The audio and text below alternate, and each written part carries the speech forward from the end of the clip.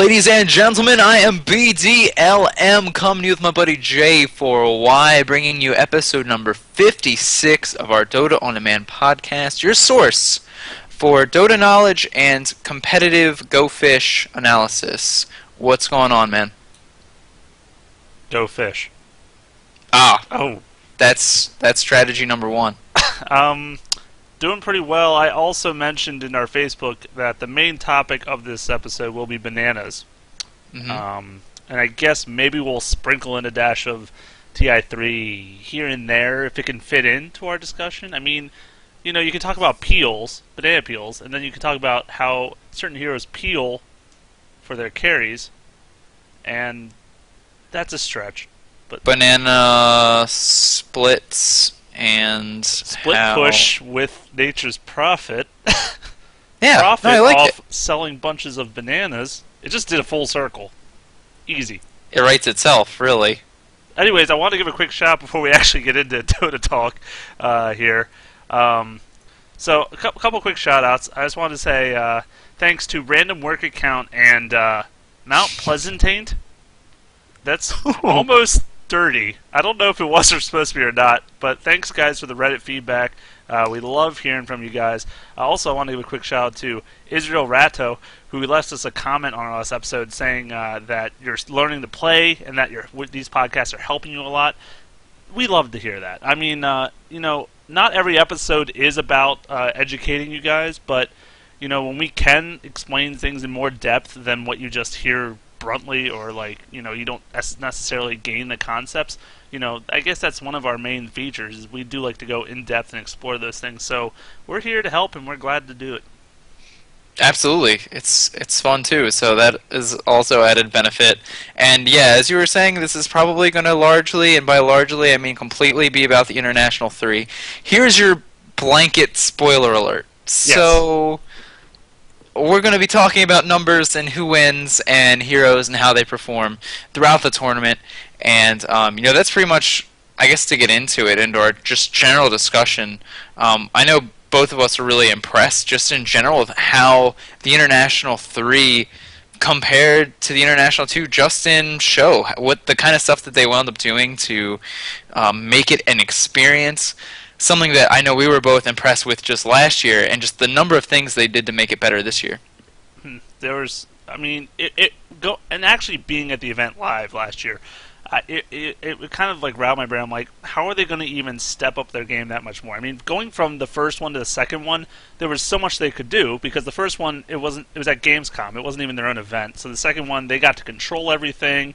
They got to see it out the way they want to. And the third one was the same exact venue. So you know it wasn't going to be an upgrade location wise, even though it's a great location in the first place. They didn't need to, um, with acoustics being perfect and everything in there.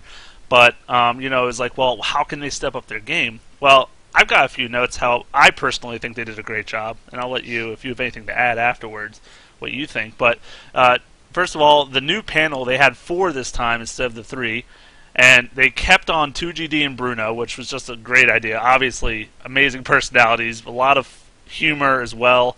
Um, as well as they brought on Melk and uh, Merlini, and they really did a great job stepping up with their professional knowledge, which is what Bruno and 2GD don't have as much of. Obviously, they're more for. The, I mean, they have some decent knowledge, obviously, if they're on this panel, but uh, not to nearly Melk, especially. Can I just say he really went into great detail about things that I wouldn't even thought of.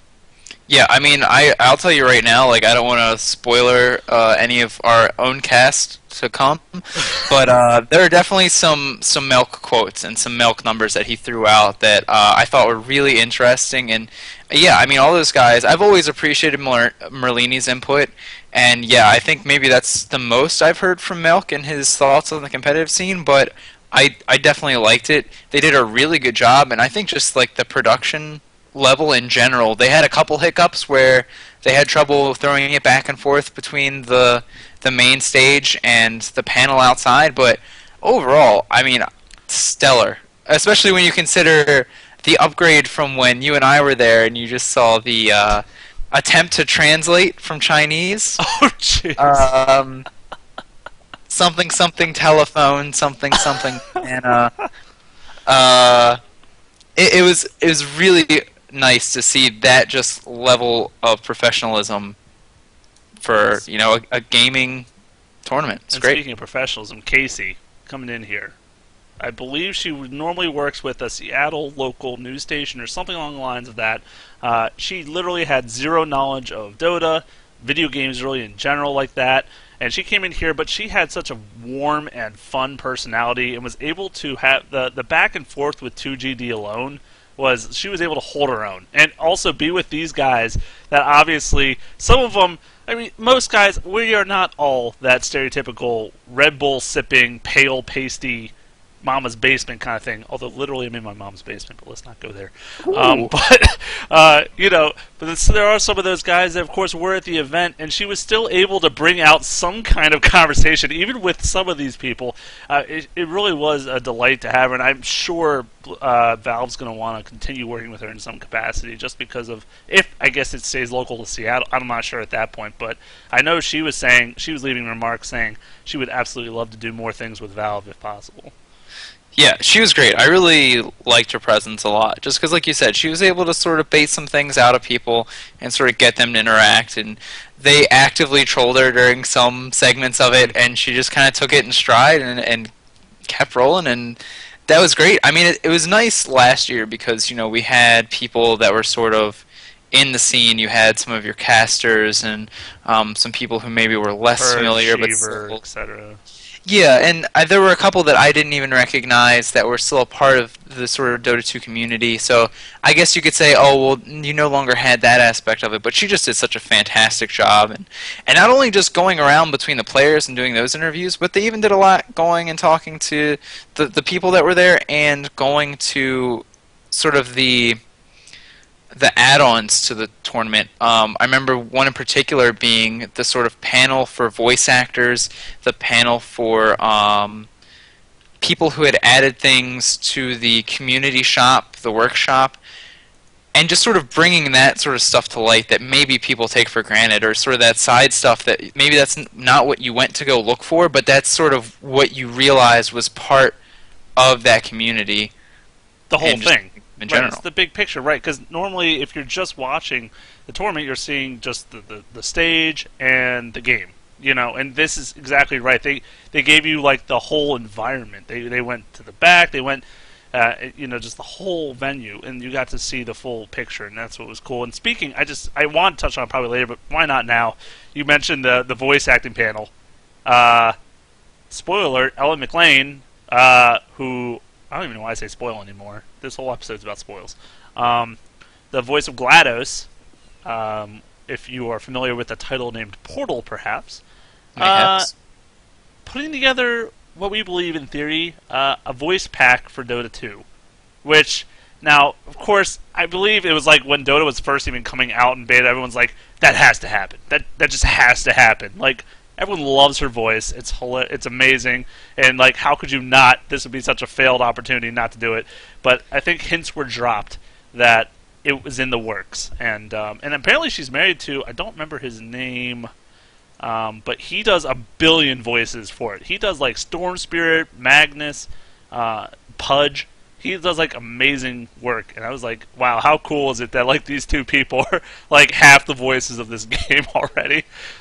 Um, Yeah, but- that is awesome. The other thing I liked too was they even um, brought out some of the art and just looking at some of the stuff that had been posted, the- the concept art for Heroes yet to come out. So I mean, they and another section was going to one of the local uh, pub stomp and checking in there and seeing how people were enjoying it. So I really don't know of anything that I would have like that they missed as far as that tournament, that experience going. I mean, they just did uh, a really fantastic job covering all aspects of the tournament. and then a few other things, so we can actually start talking real Dotas. But I just wanted to kind of mention how I also was pretty impressed. Uh, so from last year, first of all, I believe the TV was even bigger this year somehow, um, which is already enormous from the first one. But they had even more screens for you if you were actually there watching. So not only did they, of course, have the main screen of the game from where the, the, the caster was watching, but then they had the two uh, team cameras on the side of it. And then on the right side, whatever statistics.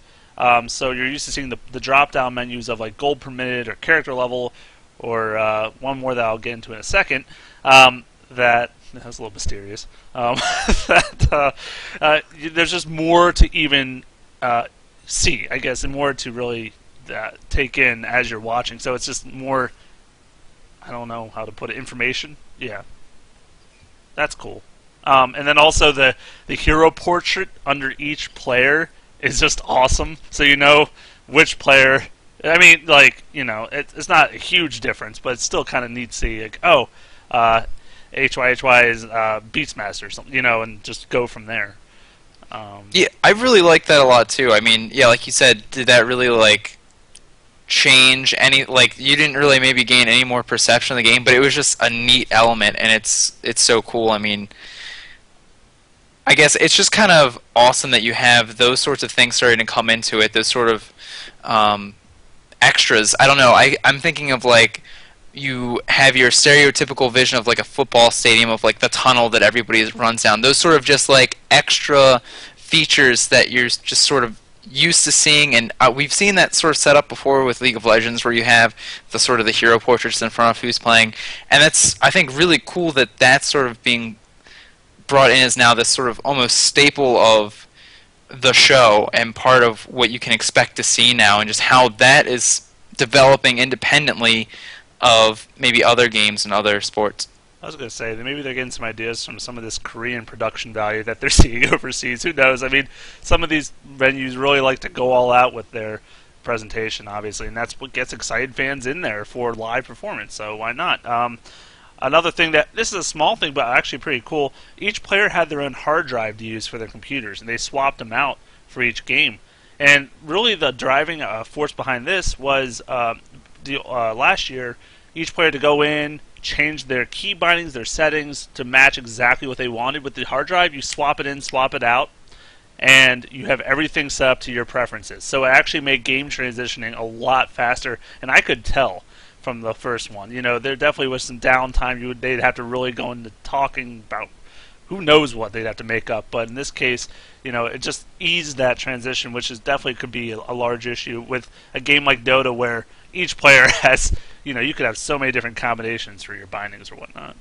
We may or may not have had time to run and get waffles between uh, best of threes last year. Just saying, Those were good waffles. they were very way. good waffles. But waffles and bananas, folks. That's what it's about today.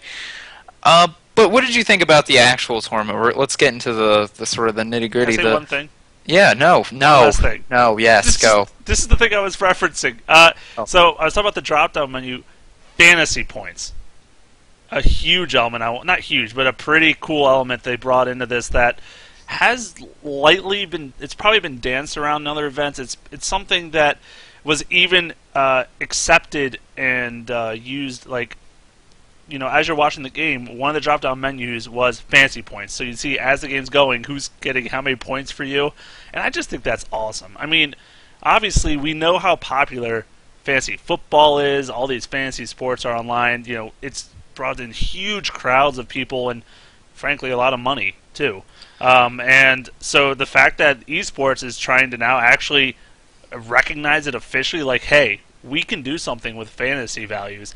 Uh, very smart and very uh, cool, and it also gets people to know the players better, which is a huge thing. I, I think a great way to connect them with uh, the community. Yeah, I, I absolutely agree. I mean, there was the one hiccup. I forget which Asian team it was that was switching their player roles around a lot. I know that sort of created some confusion as far as fantasy points goes, but I mean, in general, that's not going to be an issue. You know, most teams don't swap that around, obviously, because it's important to have all your players know all their matchups. You know, particular to their lanes. Um, but yeah, I it's all that extra stuff I think that really helps make it such a, a crazy event. It's that sort of stuff that really helps propel these things sort of beyond just thinking of them as you know video games to being games or being sports, and I can't complain about another, that. Another sure. bridge for the gap. That's that's all it is. Um, Yeah. But yeah, as far as my general thoughts. Wait, so you want to talk about prelims now? Is that what we're kind of, or just Yeah, prelims, uh, thoughts in general, kind of main trends that you thought were crazy that you want to talk about. Crazy. Well, I don't know about crazy quite yet. There was some crazy stuff in there. Yeah, you'll probably know more about that than me, but um, I, I definitely trends. I mean, we can we can we can say for certain um, a couple of the popular heroes, especially in the prelims, but probably throughout the whole event. Um, the Weaver coming in and just being one of the most picked or banned carries in the game, alongside, of course, with Lifesteal and Alchemist. They weren't going to go anywhere. Uh, and that's been a trend that we've seen building up, anyways. Uh, and how ironic to compare that to TI2, where Alchemist was picked once as a troll game pick, and that was it. So what a what a what a what a progression that hero has made in, in the past year, I suppose. Um, Chen, of course, here to stay forever. Uh, I don't know how he would ever disappear. And then the Rubik support. Uh, some teams loving him more than others, but um, definitely sticking around. And then Dragon Knight uh, was one I, I, saw very often played as well. Not necessarily the most successful, but definitely used uh, pretty often with lineups. Yeah, I mean, I think all of those years really fantastic. I mean, I think the Weaver one was maybe sort of the more surprising, um, just because we don't really see Weaver changes all that much. But all of a sudden, here he was, just this super important carry.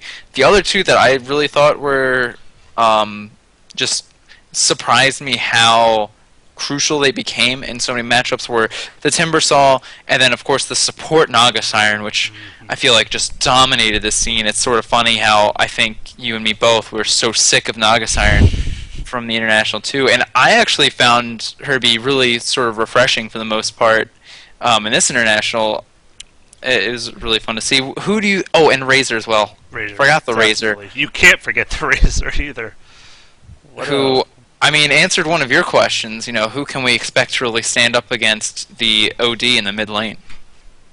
Yep, he was definitely uh, definitely one of the good choices. Obviously, because uh, you know, despite the uh, getting banished out of existence, that that tether will still remain. So it's going to keep uh, sucking up that damage. Um, really a solid pick, and he was used just in multiple cases. Uh, I we expected him also to be used to counter the life stealer, not counter, but to have a good face off against him. But even when there's games without OD, without without um, Lifestealer, he was still getting picked just because teams enjoyed um, not only his ultimate, um, but just I guess if he is able to tether up with someone and get and I keep saying tether, of course it's not tether, that's Wisp's move, but static link. Static link. I think we were all understanding where I was going with that. Um, he obviously can still be enough of a threat uh, to not necessarily be the main carry, but to be kind of that second source of damage for team fights that uh, will help out. But um, I really liked seeing him get picked up as much as he did. Yeah, I, I, thought it was interesting too, just the array of positions you saw him in. Of course, you know we brought this up by saying mid. You know he was just doing great against OD and just putting so many points in the unstable current, just making him pay for trying to steal Razor's int, um, and then being able to steal OD's damage, being able to, to contest him and not let him get that just snowball effect that OD has to have to to matter in the game. I'm pretty sure he was in the off lane in one of the Na'Vi games, and I want to say also in the safe lane. So really, just kind of all around there and uh, the most hilarious thing I feel like I've ever seen, and I know this was something that happened in Dota 1. I want to say it, this was the second time in Dota 2 history that it was done, but the Aghanim Scepter Refresher Orb hmm. on Razor, the single most devastating epileptic seizure looking thing you've ever seen in your life. Um, crazy, crazy smart too, and good. And like you said, uh, and I didn't actually even know that that worked. That you could have two instances of the ulti at the same time. It's almost like one of those uh, armlet bear things where you're like, well, wow, that does work, and it's amazing. Like, uh, you know, you you don't expect a refresher on a carry very often, but uh, there's some cases where it works. I mean, I've seen also a refresher on Bristle. That is not the same case. that is a different instance. But I mean, you know, it's worth experimenting with some, I guess, obviously more than others. And obviously, if he was able to get that much money, they were doing pretty good in that game. Needless to say, because that is an expensive pair of items. Um, but even still, right? It, it, it's the Aghanim's alone was probably one of his most popular be- behind the Black King bar for that hero to get, just because of the fact that it late game let you help push towers immensely, which was very crucial. Yeah, I mean, I know uh, one of the things I thought was interesting is going back to the panel. Um, Merlini at least said once, you know, Razor has been big, but is it so much the Razor or is it what's happening around him?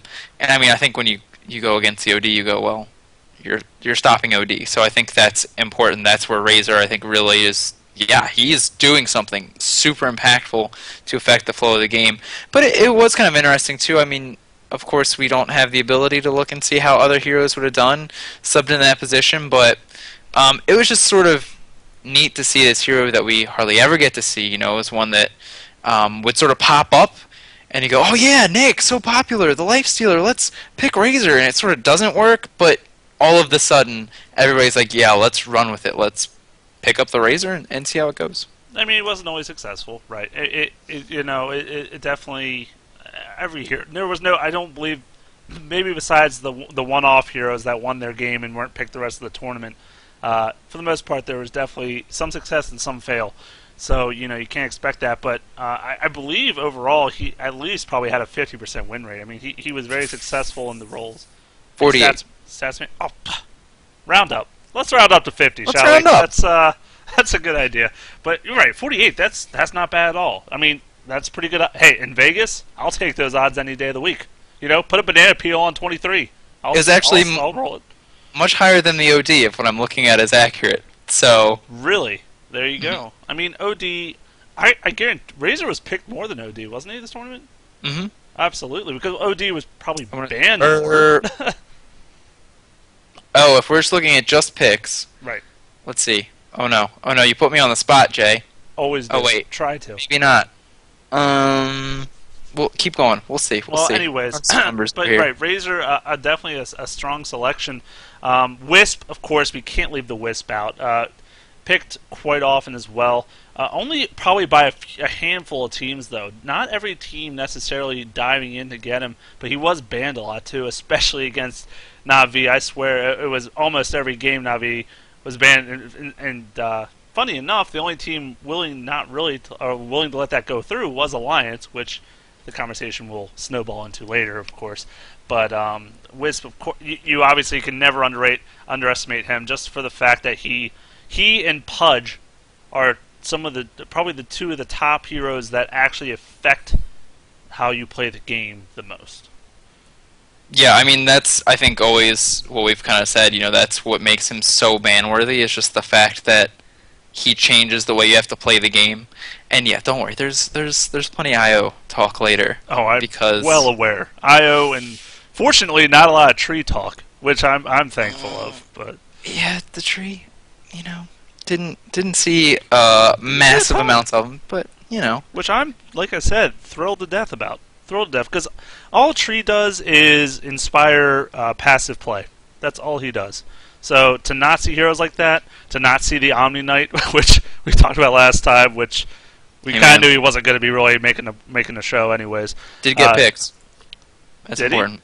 He? Mm-hmm. Yep. Oh, I'm excited for you to tell me about that. I don't remember it. Well, but I know it happened. Well, great.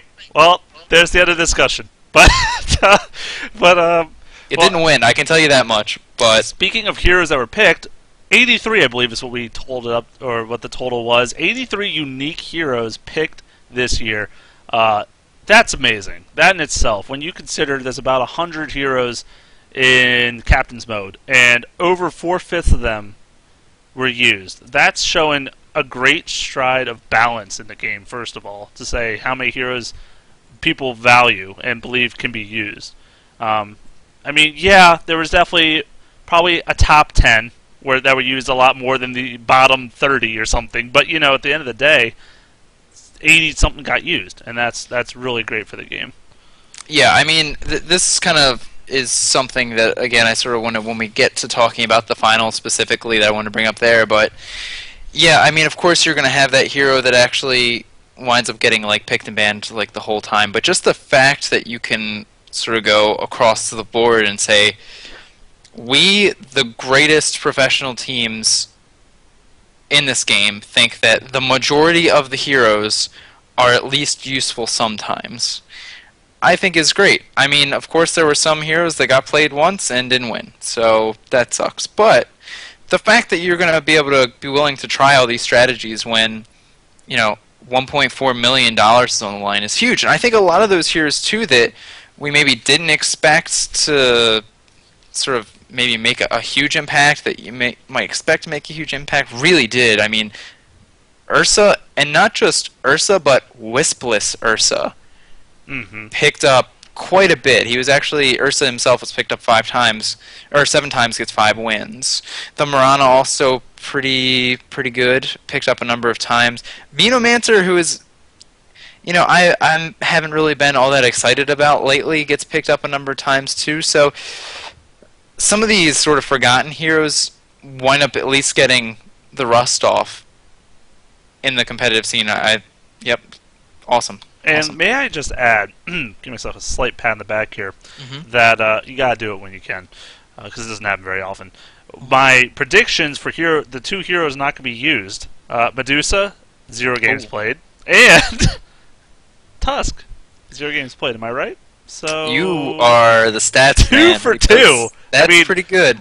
next year. I'll be the fifth member on that panel probably, because how many people can guess that kind of accuracy? I'm just if you would have said Wisp getting picked, you would be some sort of prophet Well, at that point. yeah. I mean, let's, who who could go that far? That would Who just be could? ridiculous.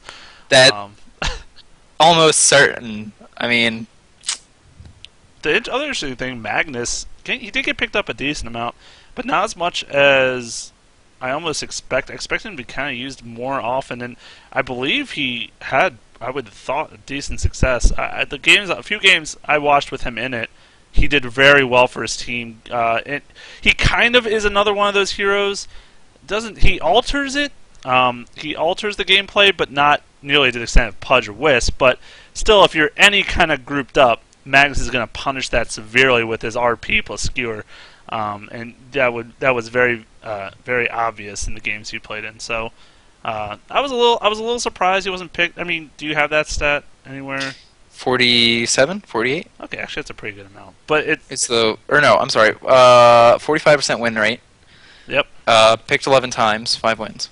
Oh, 11 times. See, that's not very much. I, I would have expected a bit more, but uh, I guess he, he like he, him and Sven, of course, were used to be the bros, and now they've been left for the hoes. Oh, that's maybe not the worst place to be. You know what? True. Some some people do prefer the hose to the bros. I mean, you know, gotta you know. go with what you got.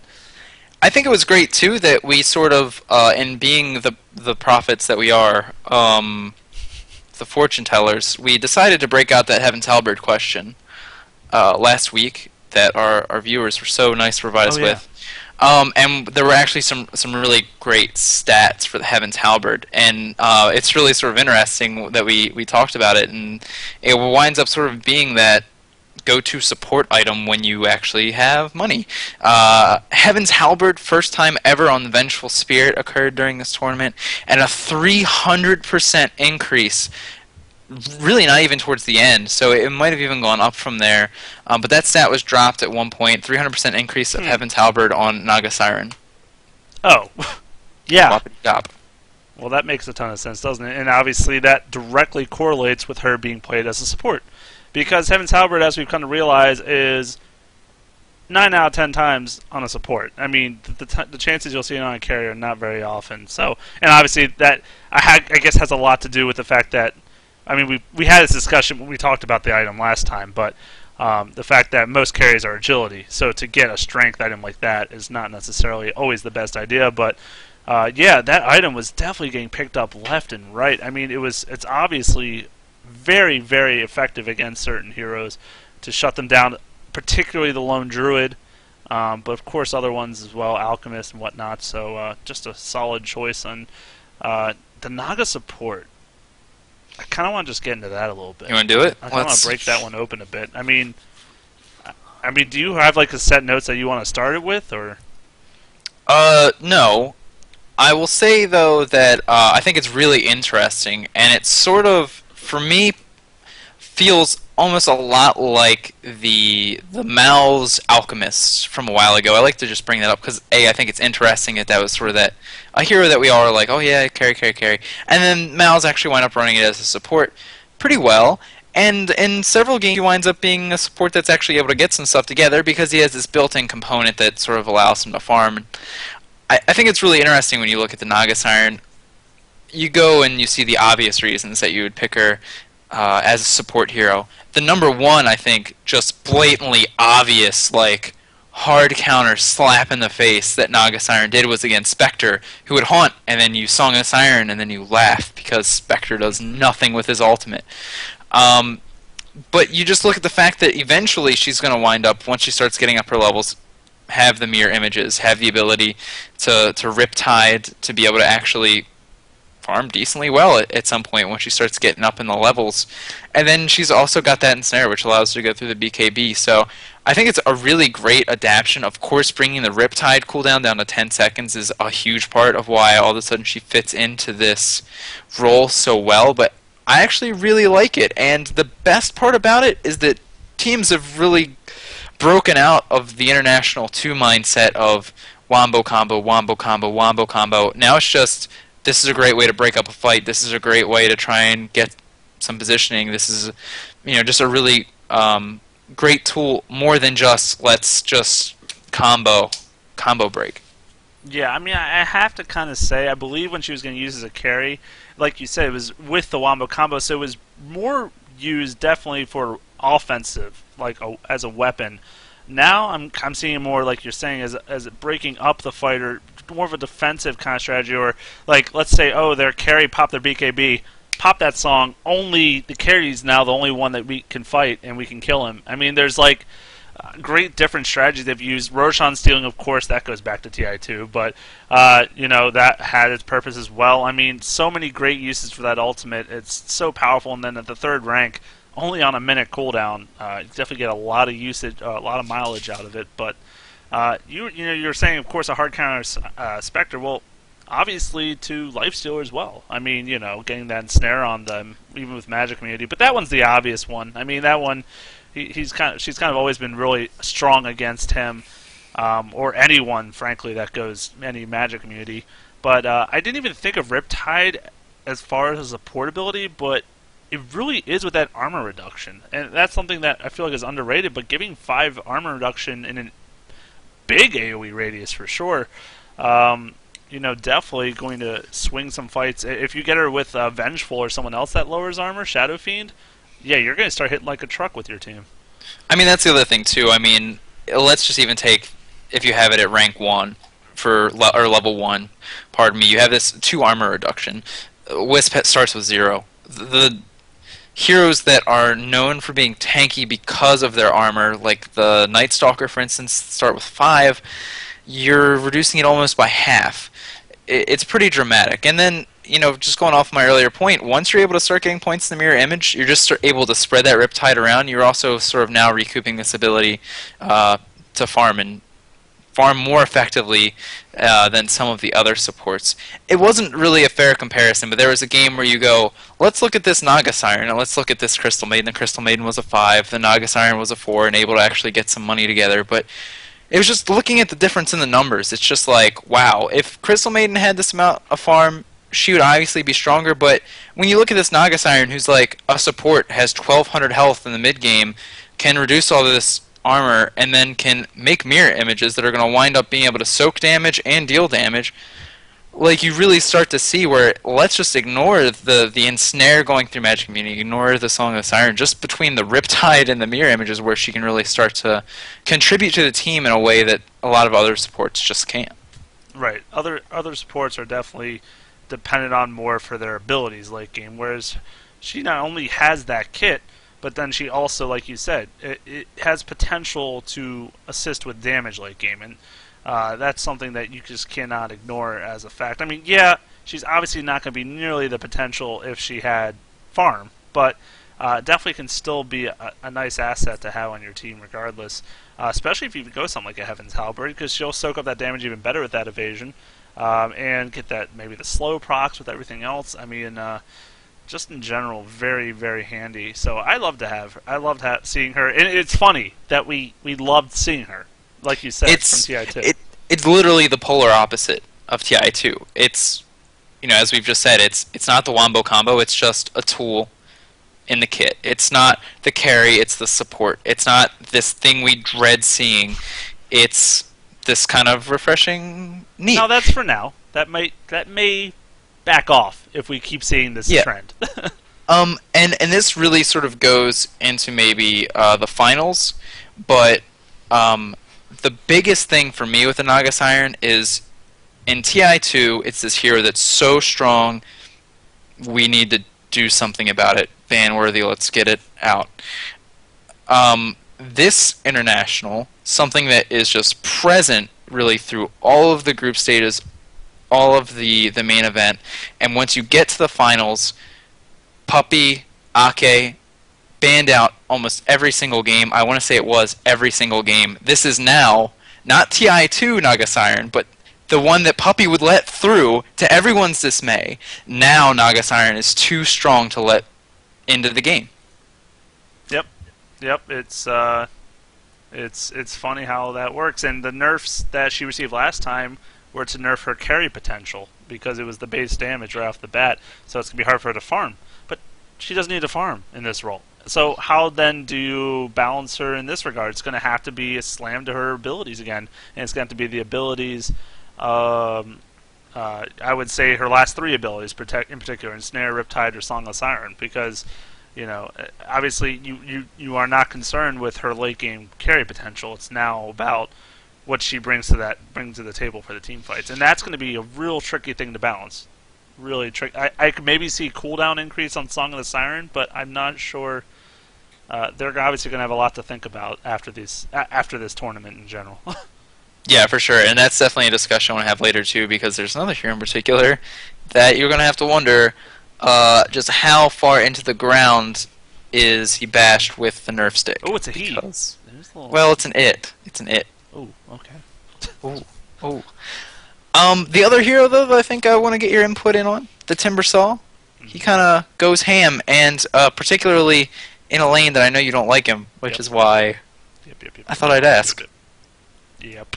What are your your thoughts? Your concerns? Well, I uh, I've really I, I've always okay I've always loved playing him, and I've I think I made it clear in the last time we talked about him how middle plus Timbersaw equals a very upset J4Y. I mean it, it's it's just the fact that Timber Chain obviously is not going to be used. It's just not even you literally don't even skill it until probably seven or eight. I mean, it's just so worthless for you. You get the reactive armor and the whirling death instead, um, which obviously is fine. He he's able to get farm and he's able to tank up the harassment, which is like why I think people like him in the middle.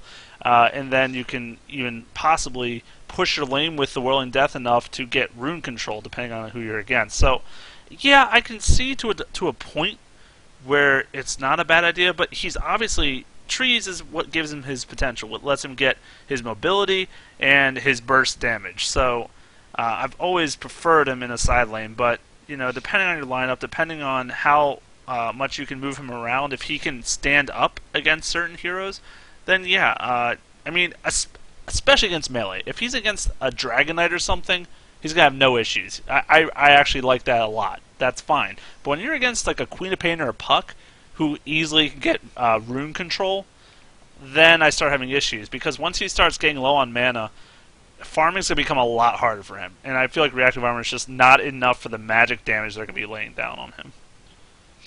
Yeah, I can agree with that. I mean, I I think he sort of if you're going to deal with him, you gotta have to burst him down. But I the other thing I thought was really interesting about him in this tournament was he really was just popular out of nowhere. Again, it was one of those scenarios. And just immediately, it's like, yeah, well, you know, he's kind of OP at level six. Like he does a little bit too much damage as soon as he hit level six. And it's just funny you have this hero that you hardly ever saw before this, and it's like as soon as you start seeing him, go, well, yeah, he's actually kind of stupid good. But we just weren't doing it before. Maybe everybody was just sort of holding on to it for the international three. But um, you know, I guess that's really up to you know individual preference. If you think that sort of thing is is maybe too strong, just being able to throw out that chakram and do a, a jillion damage at level six. But I mean, you look at his kit; he's obviously he's kind of like a combination of KotL and Clockwork to me because he's got the initiation for you. He'll get in the fight easily, disrupt it slow, do some nice burst damage, but he's also got the KotL in the aspect of, uh, of counter push with Chakram. He could just throw his blade out there way far away, uh, not take too much mana to do it, and pretty much clear a wave out by himself uh, with a little assistance possibly. So he's really got the best of both worlds in that regard, and high survivability. Throw that on top. Why not? He's a strength hero. He's uh, got a lot of uh, a lot going for him. I, so I mean, I I definitely get it, and I definitely you could see some aspects where his burst was just so immense with that true damage. If you get that whirling death, some with some some trees. Um, what I found interesting was the fact that Liquid in the losers bracket picked him twice on their best of one. They're like, you know what? We're so confident Bulba can play this hero mid that we're just going to go for it. I mean, you would think they're going to play their absolute best possible lineup in that best of one in the losers bracket because everything's on the line for their team, and they were comfortable with Timbersaw. So that's got to say something for the hero. Yeah, for sure. I actually just thought maybe it would be useful to have the the, the stats for this guy, uh, and actually I just found it: 53% win rate, uh, 19 picks, 10 wins. I mean, Yeah. pretty good when you consider Wisp, uh, 56% win rate. So not really that far off. I mean, you know, certainly anything above 50% is pretty pretty good. Um, but yeah, I, I just love seeing him. I hope that he is a hero that carries on beyond the international three, and you know, it's just something else that we get to sort of look out for in the professional scene. Um, I have one other thing that I wanted to get your thoughts and opinions on before we sort of dove into the finals. Unless you have anything else that you Well, want to there's. I mean, I feel like hit, I hit. wanted to touch on a certain hero, certain someone. someone that you might enjoy touching on. Ooh, is it? Is it Lina? It is not Lina. It's Rylai. Oh, It's the lovely Crystal Man. She really had a nice presence, and I will allow you while I'm talking to bring up her statistics as well. But uh, just how much she was picked up, I feel like it was more than I expected for sure. Uh, her speed's obviously still an issue. Um, that will always be her issue. But you know, as far as the laning phase is concerned, she does a great job. We saw so many games with those ultimates that decided the fate of the team fight. It was like it was like witch doctor decision making with that ultimate. It was like, wow, I want to play Skrillex's reptile theme song right now because it just made such a difference. In fact, there was one game with Liquid. Going, I believe it was their game against LGD China. This one I'm not 100% sure, but it was definitely uh, definitely in the Roshan pit with Liquid. And Fluff and Stuff. Just left to his devices to channel this ulti in the Roshan pit, full channel, annihilated the whole team. And while it wasn't given that much attention during the actual fight itself, if you go back and watch it, you say, "Oh wow, that was definitely the reason they won that fight." There was no question about it. And you know, I'm not gonna say the ultimate's the only reason you pick her, but it obviously could have a devastating, uh, devastating uh, impact on a fight if you just left her alone, which we've said time and time again. But uh, I think it's shined through in this tournament. Yeah, I mean, she winds up going with a 50% win rate. Uh, Akke goes undefeated with her. Hmm. Um, although, I guess you could probably say that a lot of the heroes, maybe that Alliance on up pick and go undefeated. Yeah. But, you know, uh, yeah, I mean, she has some strong presence. It, it was kind of, it's the thing with, like, Venomancer, too. Like, I used to love Venomancer to death, but then I sort of got to the point where it's like, you know, really, once you start getting to the later levels, Venomous Gale starts to fall off. It's you know, you can no longer take in the effect like, oh, Gale is like one of the strongest level one spells there is. Um, eh. I the Crystal Maiden though, I mean, especially with the the buff to the alt, I and the passive as well. I mean, I, I definitely enjoyed seeing her. Uh, I liked her a lot, and she was still able to produce, like you were saying, you know, in the big team fights, beyond the sort of aggressive trialing, beyond that sort of the first blood potential, and, and that's of course great when you get to see her sort of break the the stereotype, the mold that you sort of fit her with. And fluff and stuff going phase boots on her every time. Thoughts? Yep, yep, makes a lot Pretty of sense. Mean, it's uh, it's the phase, the bots or the tranquils. Maybe one of those is a little bit too expensive to consider. I, I like it. I like the idea, but yeah, probably not reasonable. Uh, you gotta get the Heaven's Halberd first. You just have to. I mean, That's that's true. That's now the staple support item these days. and the Ags because oh right. XP nerf. You know, you gotta hit all these. So Oh right, the upgrade. How could I forget? It's How just such a common occurrence in this day and age. Um, so that's all I really about uh, heroes that I was. We were kind of surprised. I mean, do you really want to skip ahead to the grand finals, or do you want to get anything else in? Um, the one thing that I did want to get in um, was sort of, I guess, on the road to the finals. Right. Um, your your thoughts on the the quote unquote bugs of the the tournament? Something that got a lot of attention, mostly because one of them pretty much guaranteed Navi a victory in a very important match uh, against Tongfu.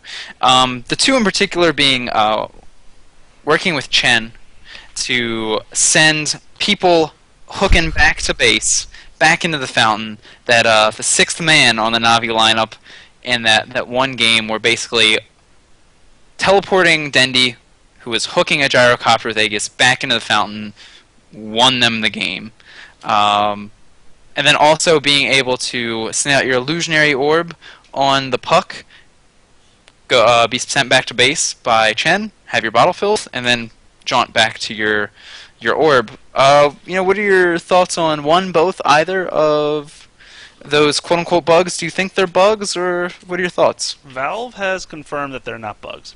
Valve has actually made a statement, uh, at least about the teleport pudge hook, um, saying that as far as they're concerned at this point in the game, that they're fine with it being in the game and they have no issue with it. Now, there that doesn't mean it's staying, right? The the armlet bear that was something Valve addressed, saying we're going to see where this goes, and sure enough, they took it out. So I mean, Valve's very aware of it, and um, it may down the road get taken out. It, it, it, it probably depends on, I would say, how much of a strategy it really becomes. The armlet bear was almost every game, and I think that was the main reason they're like, you know what, we can't keep this in the game. It's too volatile. It's too ridiculous.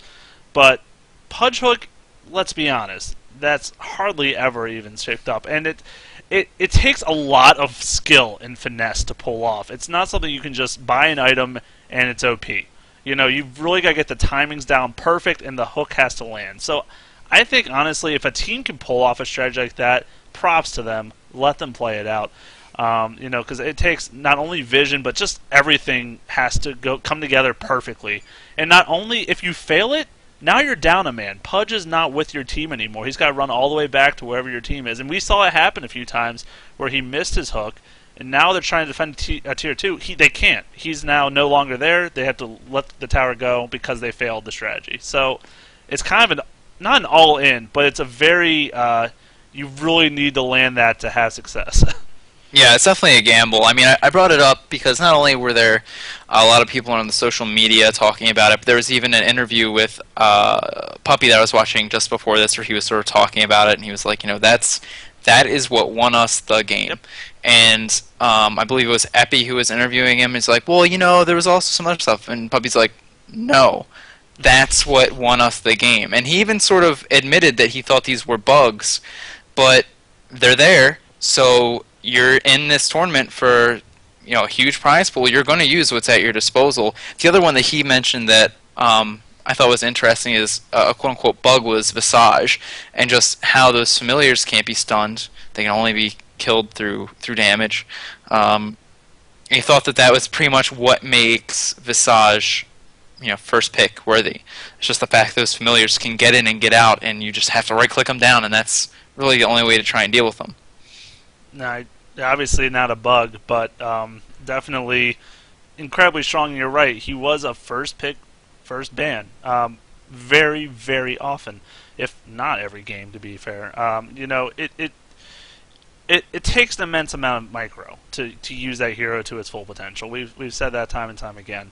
Um, but obviously, his damage output is nuts. Even early game, you put him in a tri lane, you're going to get that soul, soul, soul Rip to do a bajillion damage. Uh, game over. But the ultimate late game is where he shines. It's where you get that initiation with the stuns, set it up. You can do AOE stuns back to back without even Aghanim's. To back. Um, yeah. To, ba- and then to back, the third back could happen uh, if right you have enough farm. But uh, even still, it, it, it, definitely is something something uh, something to be considered. I, I don't know though. I, I, believe if you were able to CC them, then he all he it would be a lycanthrope. It would be just he's out the door. He's gone. Be, I, I believe uh, just because of the fact of the bounty and the cooldown. They're they're a super long cooldown, and they give a good amount of money.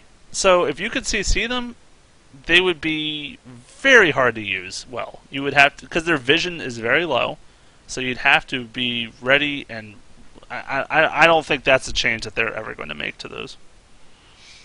Fair enough. Uh, how about we get in these finals then? I want to just. I think. I think there's one more thing we should do before oh we get in the finals. God. We should just mention.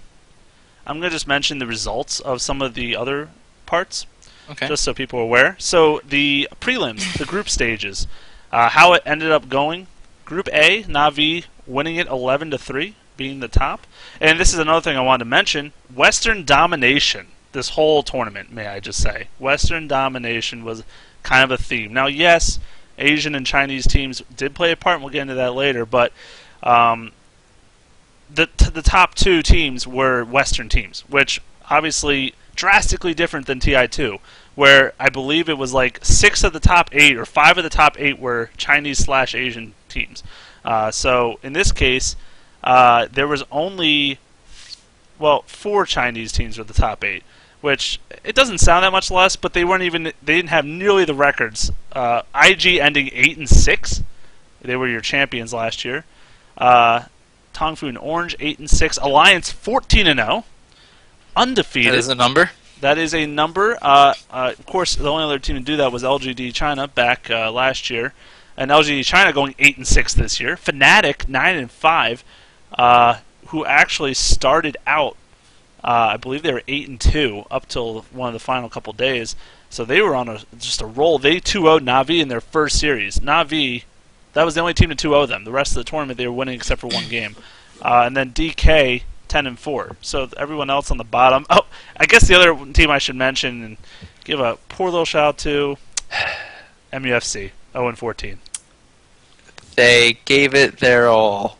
I hope not. If that was their all, that that was a sad, sad day. Um, even Rattlesnake, the wild cards, end up going three and eleven. So at least they, they got a few wins under their belt. You know, they they could go home with a little pride uh, in their. I mean, you know, that's a team that came to the international with like no manager, right? I mean, like when you consider the sort of competitive teams they're stacking up against, and the fact they were able to do that well, I mean, I think it says something at least, you know um, it's just sort of nice to see that. I mean, yeah, they didn't make it very far, but this team of guys that wind up just being able to go to this tournament and can stack up against some of the, the bigger dogs and uh, outperform a- at least one of them and tie for another. right. No, exactly. It was uh, it was something else. Uh, I I believe Liquid actually did pretty well. I don't remember what place they ended in, but they got money. So at the end of the day, that's that's what it comes down to, right? Getting getting, getting the money uh, is very nice to have. And I think a stat too that I think is certainly worth mentioning that you might not be able to just sort of uh, appreciate. Um, on in the wins and the losses is Orange, who I think just performed phenomenally, and then also wound up having players that had the most number of heroes played. You look, of course, at some heroes, some players that have like the one or two heroes. They're sort of their go-tos, and you know, you look at Havost, who winds up playing Alchemist just all day, every day. Yep. Um, the fact that Orange were able to be so successful playing so many different heroes um, on so many of their players, I think it's just uh, amazing and fantastic, and I love seeing it. Belinda gave us a little uh, feedback. Uh, Mushi used 18 different heroes, and Xtinct used 16 heroes. So, wow. That's that's that's a good amount of selection coming out from just two of their players alone.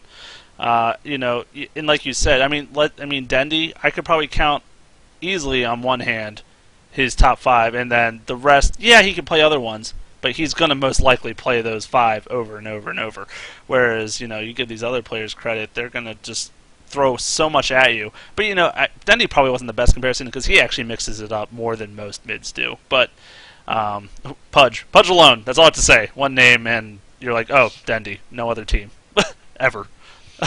Which is surprising that no other team likes to take that risk, but he is a risk. That is for certain. That is 100%, yeah.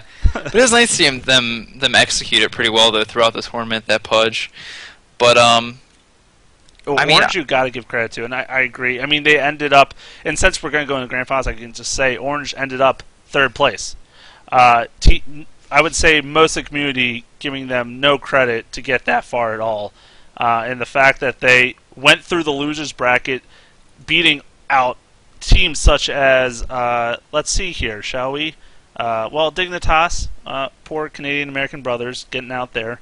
But then they beat Fnatic, they beat DK, they beat Tong Fu. I mean, powerhouse teams that were just seeming to just dominate most teams they played, and Orange came out on top, uh, and they still won two hundred eighty-seven thousand dollars. So not too shabby for third place. I could live with it. I think I'd be okay with Could that. Could you? Could you? I think you know what. We did all right, guys. Pack it in. Let's go home. Let's uh, drinks are on me. I mean, I think apparently it's... UK is telling us that Orange picked Slardar and one, and he thinks they deserve to win TI4 and TI5 for that. Yeah, the Slardar pick was so genius. I had completely forgotten about that, but oh my gosh, I love seeing that Slardar. It was beautiful. I mean, and that's the thing too. I mean, that's probably something that they practiced, but I mean, just you get to see that hero, and you're just like, yeah, this is what happened to this guy? Why isn't he used? Especially again because you know we saw DK being such a, a, huge hero, and that's obviously a great way to try and cripple him. You have all these supports that wind up building the um, medallion of courage. I mean, another great way to try and tear through that when it's not being used um, as an activatable. I mean, I really, as soon as I saw the Slardar, and you look at the other team, and you just go, "Yep, great choice. Let's see if they can make it work," and they did. How do you think Eternal Envy feels right now? This is a um, side note, but how do you, you know, do you think he was? Do you think he was uh, just cheering against them every single game of the way, or do you think he was like, you know what, they were my brothers at one time. I want to see them do well. You know, I like to to be naive and hope that people have goodwill and nothing but cheer and peace to spread to their brothers. if it was me, I'd tell you I know what I would be doing. I would be like, every single game. Like, okay, Lowe's gonna do this. You guys should definitely be able to counter this strategy. Oh God, come on! How would you let them get away with that play? This is ridiculous. And when they went 14-0, I'd be like, just, just turn off the computer and walk away. Just walk away. yeah, but I mean, you know, to be honest, I feel like if he's able to find himself a stable team. Like I'm looking forward to seeing whoever he brings with him to the tournament. I mean, we look at how Mousesports was able to do, and you know, I was kind of talking with some people. I'm just like, you know, I don't know. I I wonder if SyndereN's day is really kind of over. If he sort of had his mm.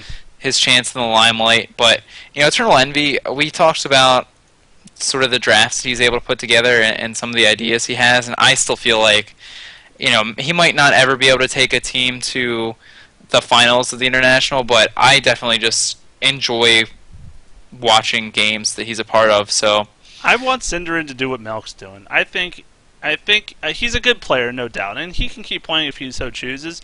But he's got so much game knowledge that I feel like he could do just as well. When he casted with Toby, it was an amazing matchup because not only did their personalities get along, which is important, but his in-depth knowledge of what teams were going to do uh, making predictions was just phenomenal. And I, I would love to see more analytical things coming from him because he's not only fun to listen to, but he's a he's a really intelligent, great guy.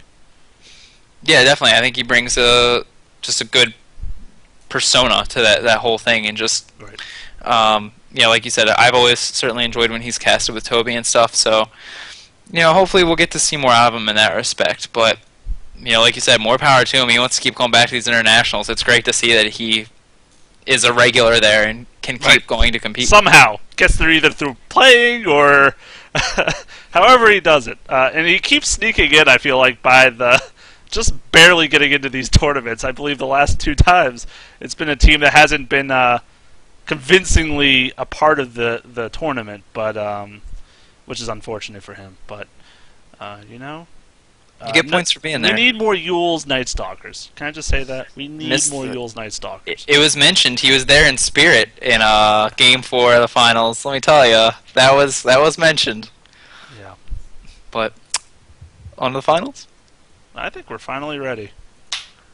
I think the single greatest part of the finals of this tournament, Navi versus Alliance, is again, I, I found this like so funny last year where you have the team that won the first time uh, is like the Cinderella story. Like they're the ones that are sort of like the underdog coming into this, going up against the Alliance who just put on such a performance, like you said, going undefeated in the group stages.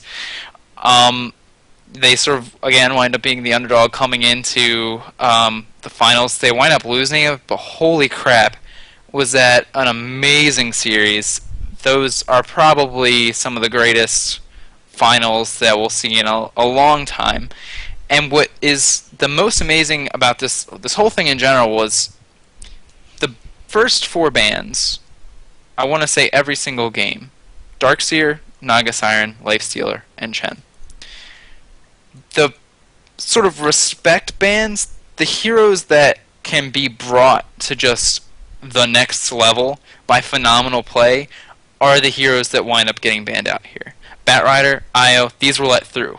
We let's try and deal with them every single game. I mean, Io actually goes undefeated through the finals, which is something for later. Don't worry, we're gonna get to that. But it's these heroes that really the players are able to just be phenomenal at that wind up getting banned, especially the Chen. I mean, all these heroes are, of course, strong and fantastic, but to me it was like, wow, you guys aren't banning these heroes because they're too strong, we can't play against them, we don't feel like playing against that strategy. It's just like, we're going to deal with the Imba heroes because we respect this other team as players so much that it's the players that we're going against. It's the players that are able to bring, uh, you know, this phenomenal energy to the game and this phenomenal potential. We have to play against the players and not necessarily against the game, like sometimes it feels like teams are doing. Yeah, I mean, I'm looking at this draft just the first game, and the heroes that are allowed through the Bat Rider, like you said, Visage, uh, Io, and Nature's Prophet. I would say uh, three of the four heroes, some of the highest win percentages already in the tournament, knowing how strong they are, and the fact that they were allowed through just more uh, gives concrete evidence to what you're saying, backs it up that uh, they're more trying to ban out the players themselves and not necessarily what's strong in this meta currently because uh, it's going they, they, they didn't get there by playing the meta correctly the teams got there by being amazingly strong players and I, you know uh, I, especially against Navi I mean let's just throw it out there Navi definitely known to throw a lot of these kind of strategies out there Quantic might be one of the only teams that go a little crazier than them but uh, and Kaipi but you know, we don't have to get to that. But uh, you know, and you know, give Alliance credit, they do like to run some unconventional things on their own as well. But um, I'm not sure if Phantom was Phantom Assassin picked this tournament by Loda. Nope. I don't. See, well, that- it might have been in the tournament, but not in the finals. definitely not in the finals. I, I know that was uh, Gyrocopter, him and Loda, uh, you know, kind of his signature hero throughout. But um, yeah, I, I definitely agree. In this first game, I guess we'll probably just briefly touch at least on some of these games. Some you don't need to go into much detail because they were such a blowover. But uh, Navi's lineup, why? Can you just walk us through that a little bit? undefeated. First of all, their stat number one. Uh, that that strategy had been tried before. They even talked about it uh, between the games. But I mean, this is sort of, I think, a point that sort of goes into the rest of this um, best of five, the series, and something that again a, a great Melk quote. Um, aggressive tri lanes just aren't working seemed like this whole series there was just no way that teams could get them to work. And this game one is a great example of it. Puppey on the Venomancer, Havost on the uh, Vengeful Spirit, and KuroKy playing the Visage. These teams, this tri-lane goes up, and they're like, yeah, we're going to go against the other tri-lane, and we're going to win, and it's going to be great. They wind up going against Nature's Prophet, and they can't do anything, and it generally falls apart. They wind up spending time farming on these heroes when you're like, these are the times that they should be going crazy. What they weren't able to. I mean, clearly that lineup is meant to get kills, and they weren't able to get that going. I mean, Admiral Bulldog played against that lane, played against it. He didn't even abandon it, um, and didn't feed, didn't die. And then if you want to look at the other side of that coin, you wind up having in the fifth game you have Havost solo bottom against the tri lane, the Wisp, the CK, makes them pay for every kill to start that off. I mean, just amazing jukes through the trees behind the towers. The tri lanes, the aggressive tri lanes, just weren't producing in this best of five, and and that's kind of something that I'm really interested in looking forward into tournaments after this. What did teams take away from that? What did they take away from the fact that there was so much failure on the part of being able to contest the farming lane? Yeah, exactly. I it, it definitely uh, it, I, it's it's it's definitely a tricky thing that teams have to figure out, and it, it really depends on I guess the teams that or I'm sorry, the lineups they pick, especially for that off lane. Uh, you know, if they go the heroes like the Nature's Prophet, like uh, Darkseer, like heroes that obviously, or Bounty Hunter, ones that don't necessarily have to just stick there and uh, get the experience and farm, but they can instead roam or do something else. Right. Then what do you do? Do you why would you even bother going these aggressive trials? You're obviously only hurting yourself in both levels and uh, and gold farm. So uh, it definitely makes you have to adapt your strategy. And uh, yeah, that first lineup was just. It was such a powerful tri lane. I mean, there was no questioning. If if it went head out, head on with any other lineup, they they probably would have dominated it. But obviously, when you're looking at it as a line, you're like, well, screw that. What? A, why would we even bother? That's not worth our time. And uh, we know late game, we're going to easily outscale them. You know, so what's what's the what's the purpose? But obviously, it didn't even get to late game. But uh, yeah. I guess that's just the thought process. And, you know, that was kind of another thing too. Like that was almost like the textbook of why I am in general not very sure about how I feel about Venomancer because it was like clearly you pick that up because of Venomous Gale, because of the kill potential there.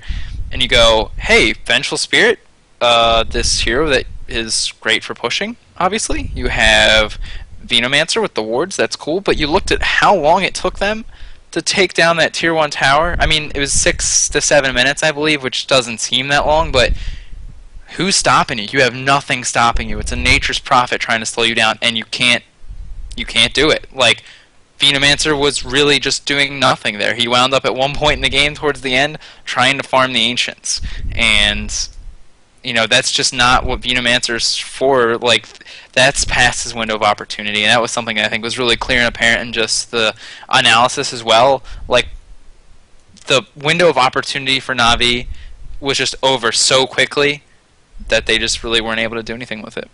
Right, and it, it, it clearly clearly showed through a, a quick performance. And uh, game two also a pretty quick performance, um, but the tables turned. You might say uh, Navi doing all the work in that one. As it turns out, Avo's pretty good at last hitting. Huh. That's what we learned. I don't know why we didn't know that before. right. But we've learned it. And Venomancer, this is obviously uh, the nail in his coffin. Um, this game because he gets picked for Alliance and uh, well, doesn't have the most fruitful of games as well. So, uh, but yeah, Navi going, of course, Alchemist. Getting back to basics, if you will. That first game was kind of like maybe they figured, well, hey, this is a best of five, and worst case scenario, we lose the first game. We tried it. Let's get back to our roots. And boy, did they go back to their roots with that Alchemist Wisp combo. Yeah, I mean, I if we want to talk about that for a second, just you know, what do you think of that lineup in the first game? I mean, I think it's just it's fine. Like that, if you're gonna have a game to mess around in, it's gonna be game one. And of course, you know, I think Alliance has just been showing up to play really like that whole tournament. Like, if you can try and catch them off guard, that hey man, if it works, you're a game up. If you lose, then yeah, you're a game down. But you know, clearly both of these teams, no matter how that works out, have the capability of coming back.